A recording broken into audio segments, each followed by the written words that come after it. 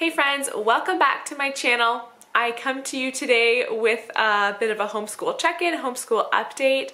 I regularly share homeschool content here on my channel and so you see kind of us homeschooling in action during our day in the life videos, but I like to once in a while just do a little check-in and let you guys know uh, from my point of view how our school year is going. So at this point, we are about six weeks into the school year. If you are new here to my channel, by the way, my name is Julie.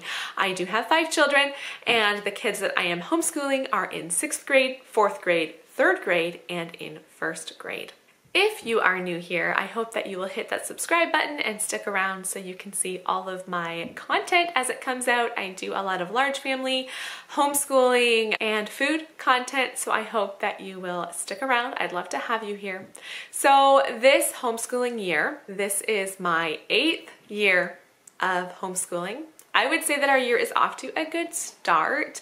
Uh, I feel like it's taken us a little while to get going and I think that's just because uh, we've had a holiday, we had Thanksgiving here, and we also took a week off. We went on a week vacation and of course with leaving and then coming home. We took a little bit over a week off of school. So we are six weeks in, even though I feel like we should be further in, but because of vacations and stuff, I still feel like we are just starting our, our school year. So first I'll just kind of go through our curriculum, what we're doing this year, and let you know how that is working for us. Well, let me just go through our school day. So we'll start at the beginning. One new thing I implemented a couple weeks into the school year, I started implementing this, and that is morning exercises. So at nine o'clock, we start school but the first thing we do is morning exercises. So I turn on a YouTube channel. We've done a few different things. The channel that we use the most is called Dojo Go. I will link that down below in the description. It's karate lessons. It's a 15 minute video. I screen mirror off my phone onto our TV and the kids do this morning workout. This has been so good for us for a few reasons, I guess I would say. Uh, number one, it gets those morning wiggles out. It gets the kids active to start off our day. Number two, it gives me a few minutes to kind of regroup and be ready for the school day. So we're kind of doing chores and all that stuff in the morning, breakfast. When they come to the living room to start the school day, I will like tie up any loose ends, do a last minute kitchen cleanup, pour myself a coffee. It just gives me an extra few quiet minutes. The third reason I love this is that it is motivation for the kids to be done their chores and ready for school. So typically if I would say, okay, nine o'clock, we need to start school. Um, I mean, I hope that the kids will work fast and be ready for school, but rushing to start school, um, I hope I'm not the only one in this in this boat where uh, that's not something that the kids love to get started on. Like, yeah, let's start school. I mean, they're okay with school, but it's not something that they absolutely love. But they love their morning workouts, and so if they are behind on their chores or they're being pokey and they miss the workout, they are not happy about that. So it's motivation to be done their chores, done brushing their teeth, teeth and everything and ready for school. Next, we do our Bible time, and I have shared in the past this Bible curriculum I have put together for this year. There's a lot of memorization and that has been great. I am really enjoying the Bible curriculum this year. It's been really good for us. Uh, another thing we do with Bible time is we're reading through the Psalms and so we go around myself and the three oldest and we read through a chapter in the Bible every morning, a chapter or two and it's so good, so good for me to hear the kids reading, especially my older ones. I don't hear them read very often. They do their independent reading, but I'm not listening to them read. And so that's been really good that I can correct them where need be, help them with pronunciation of words, remind them to slow down. Some of my kids are fast readers and they will mix up their words or they will skip words. So it's been really good for me to hear them read and help them out where needed. Of course, we do our read aloud time as well. We have read through, I believe, three books so far, and that is such such a good way to start our school days. We really enjoy the read aloud time and we have enjoyed the books we've done so far. We read Best Family Ever by Karen Kingsbury and then we read two uh, Trailblazer books. Those are Missionary Stories by Dave and Netta Jackson. We have, of course, been doing the Gather Round curriculum. That is a unit study approach. So I have a teacher's guide. I print it all up. I do the teacher's guide and each of my kids has their own level workbook that they're working through. We love the unit studies. We've been loving Gather Round. Uh, we completed the Canadian Government Unit, which was a really good one to do to start off our school year. It was a mini unit so it was still 20 lessons like every unit, but the mini part of it was just that the kids only had two work pages to do every day unlike the other units where they would have four or five work pages to do. So that was kind of an easier kind of easing in to the school year. As far as that unit goes, uh, I think it was really good. Not surprisingly, a lot of it did go over my third and fourth child's heads. Even my older two, they got most of it. But I mean, it's about elections and about how government works. So it's a lot of information. My younger ones, I just don't mind if they don't grasp it all, it's fine. But I am enjoying, now that we're getting into the North America unit, I am enjoying that they grasp so much more and they are really absorbing a lot of information. So I would say overall, this North America unit seems like it will be a more enjoyable unit for for everybody. With that Canadian government unit, one thing that was nice is because it was a mini unit, it didn't take quite as much time and so we added writing on every single day. So I got my kids each a handwriting without tears writing book at the beginning of the school year and I figured that we would just do this some days. With the mini unit we were able to tag that on at the end every single day, which was nice.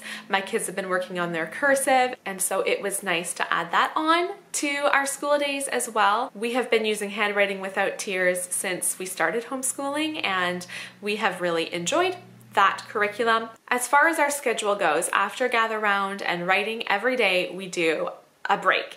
So it's a 15, 20, maybe even 30, depending on the day, minute break.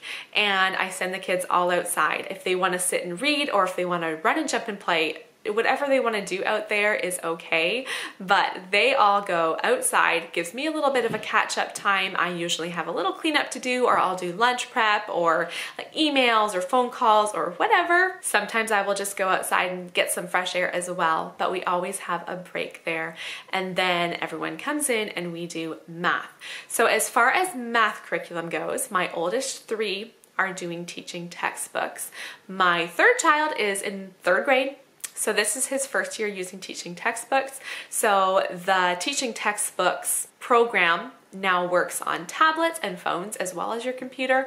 So he does his math on the iPad. My two oldest use our desktop computer and our laptop. Everyone's doing math at the same time. Now that the three of them are doing this independent curriculum, it does give me more time to, or not more time, but it frees me up a little bit to work with Zara, my first grader, who is doing the Math-U-See curriculum. She, of course, still needs a lot of assistance and needs me there to help her read the questions and just help her a bit with those math problems.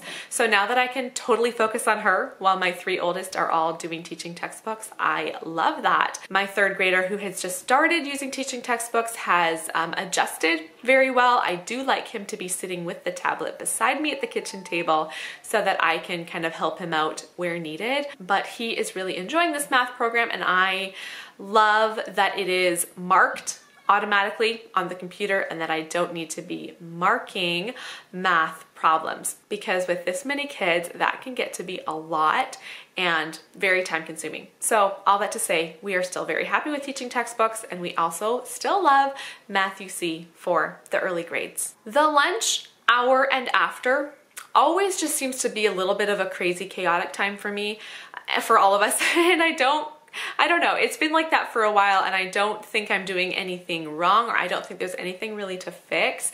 It's just that everybody has their individual subjects and we're all doing different things. So let me just say, so our morning basket time, our gather round time, our math time, it's very like organized, I guess, and we're all together. We're all doing that subject together.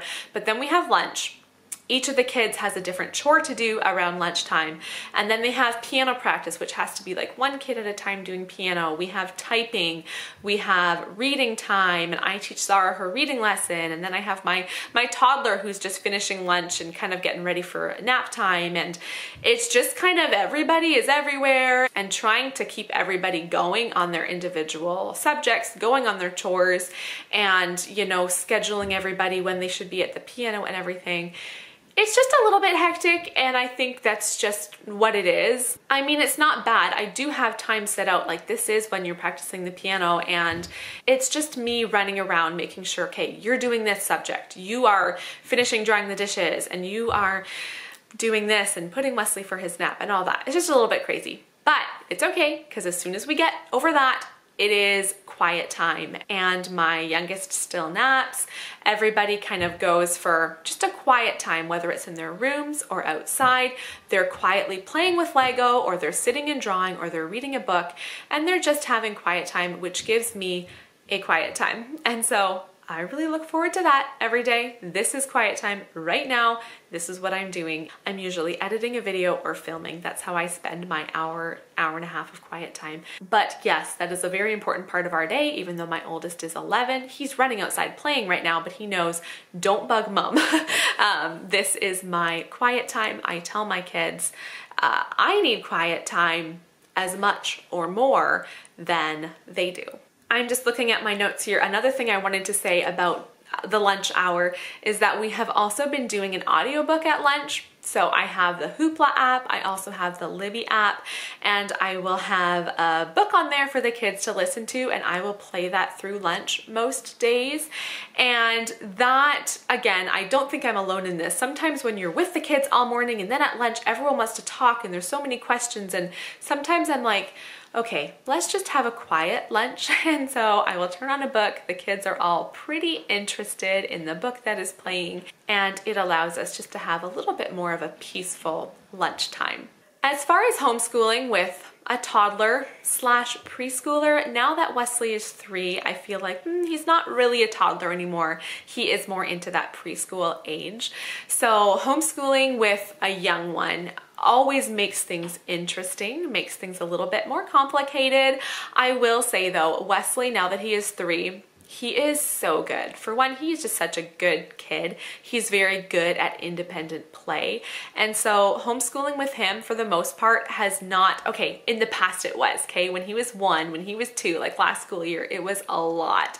But this year, I'm talking about this year, um, it hasn't really been much trouble. Unless he's really tired or having a clingy day, he will just play quietly. He will often come to the table where we are doing schoolwork and he'll want to color or he'll want to play with Play-Doh. He does still have a fairly short attention span, so it's a lot of like, oh, he's doing this. Okay, now he wants to play Play-Doh. Now he wants me to get out markers for him. Now he wants this. And so it's a lot of switching from one thing to the next, but he has been really good during our school days. And now that I think of it, it's crazy because this is my last year without him actually being in school. Next year he will be junior kindergarten age, so not doing much school at all.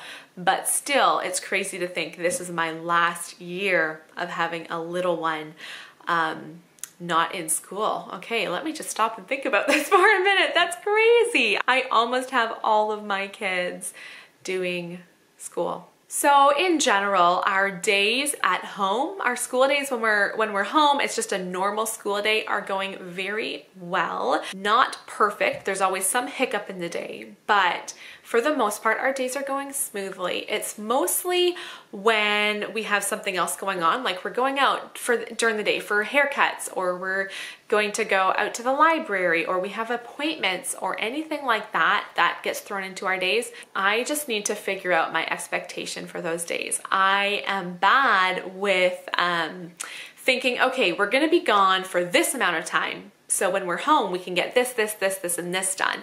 And if the day went perfectly, yes, we could fit all of those things in, but then we never do. The kids are a little bit pokier than I think they should be, or there are some extra distractions, or the appointment took longer than I thought it would. And it just ends up that I'm frustrated and we're not getting as much done as I thought we should. So I am working on those days where we have something going on rather than thinking, okay, we can, we can, if we are working quickly, we can get all these things done.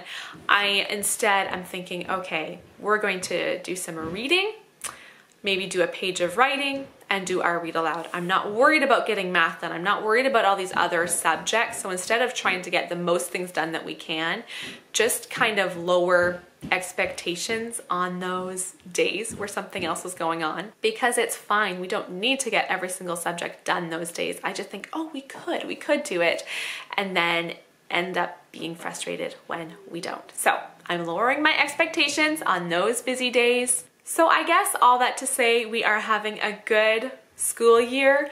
Uh, I don't have any problems with any of our curriculum. We're happy with what we're using. Our schedule is working quite well.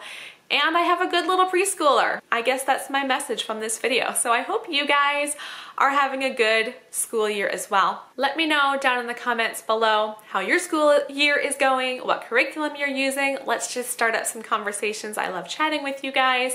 And give this video a thumbs up if you enjoyed it. Thank you for watching. I'll see you soon. Bye-bye.